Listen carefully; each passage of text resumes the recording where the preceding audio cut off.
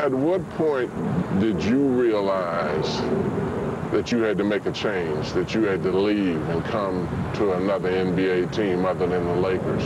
The middle of last year when they stopped Phil's negotiations and they stopped my negotiations. I knew it was going to be a change because I've been around long enough to know how stuff's going to go. I wasn't born yesterday. I wasn't born yesterday, so I know how stuff's going to go.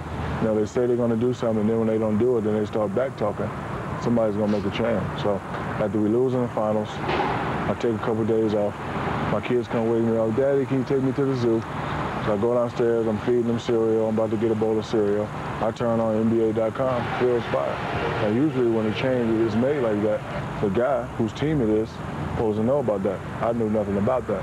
When do you expect this soap opera to end that is going on between you and Kobe and Phil writing a book and all of this stuff? It's not a soap opera to me because I don't pay no attention to it. I don't pay no attention to it. Mm-hmm. It's just that I've always spoken the truth. And it's just funny to me now that Phil's coming out with a book, now everybody's starting to believe it. But when I said it, oh, it's just, you know, I always speak the truth. But, you know, I was just trying to, you know, get people to be on the same page. But, you know, certain people got their own agendas and certain people do certain things. However, though, when the tough gets going, the true colors come out. Plain and simple. Do you feel that you and Kobe will ever be able to mend your relationship? I, am a married man. I don't want to have a relationship with another man. I, I don't want to do it. I don't. You, I, I don't know. I don't care. I got a wife and five kids I got to worry about first. And then I got to worry about my mother and father, and then my friends and my family. I got to worry about my education. I don't care about another man. If you don't like me, I really don't. Who cares if you don't like me? I'm sure he don't care if, if I don't like him. I don't care. I'm down here in Miami with Dwyane Wade now. I'm, I'm, just telling you that the stuff that went on before in Orlando and LA, it won't go on. I called him after he came from the Olympics. I met him at a club. We, we sat at a table and, you know, we drank water. And I told him everything that happened. I told him everything I tried to do when I was at the other place. And then I ended my statement with, with what went on between me and the other guys could never, ever go on between me and you. And I don't think it will because he's a different person than those other guys. He's humble. Can you share with us your conversation with Stan Van Gundy in terms of what your role, how many shots, a defense, you know what, I've been, role? I, have been playing 13 years. I never, never ever told a coach, hey, I need 15 or 20 shots a game. I don't, I, I don't tell him that. I didn't say anything. Stan wants us to be a great defensive team. I believe in that. And he wants us to, you know, share the ball and, you know, have fun and play hard, and I believe in that. I never go in the coach's office and say, hey, man, I'm Shaq, man. I need 15 to 15 shots. No, it ain't even about that. However, though, if I got somebody on my back, I need the ball. If you going through the lane and five guys is on you, give me a drop off pass. That's all I want. I never said, you, know, I'm not a ball hawk. You give me the ball and I got somebody on my back, I'm gonna take the high percentage shot that I always take.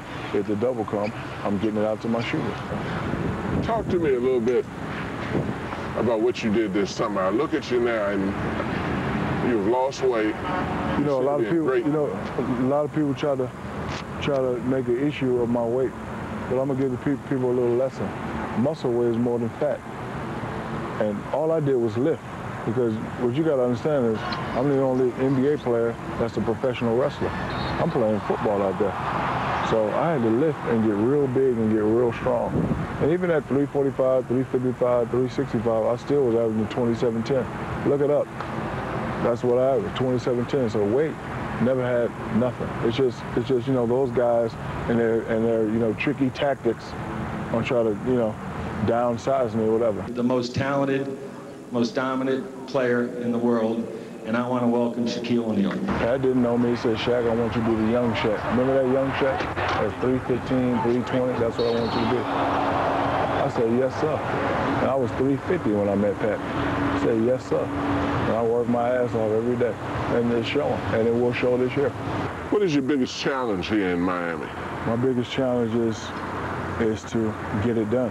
I want four or five or maybe even six championships. So y'all can say Shaq was the baddest millennium big man ever. I start to get selfish as a big man because when you talk about the greatest big man, right now, Bill Russell's the man. He got 11 championships. Ain't, ain't nobody beating that. So he's the man, I can accept that. And then they talk about Wilt, then they talk about Kareem, then they talk about the King. So that leaves me at number five. I have a problem with that being at number five. So I'm here to win a couple more, and then hopefully when I'm done playing, they say, hey, Bill was a man. But Shaq, wow. a lot. And that's it. Bill, Shaq, and then that's it. I don't want to be Bill, Wilt, Kareem, Shaq. So that's why I'm still playing.